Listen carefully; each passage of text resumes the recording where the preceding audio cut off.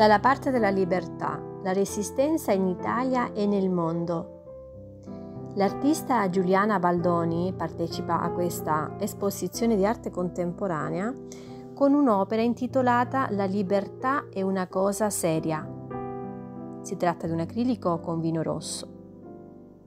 In questo dipinto l'artista ha voluto sottolineare l'importanza della parola libertà e quanto purtroppo ai giorni nostri stia perdendo il suo significato più profondo.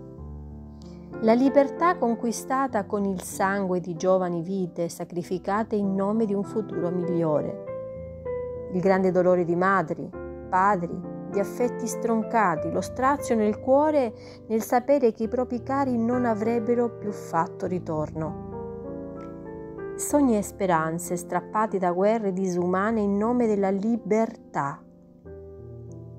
Ora, la bandiera, simbolo di questa conquistata condizione, si sente ferita e scioglie il tricolore nel rigagnolo d'acqua di una vecchia fontana che anch'essa ha visto passare sotto la sua cannella miseria e povertà.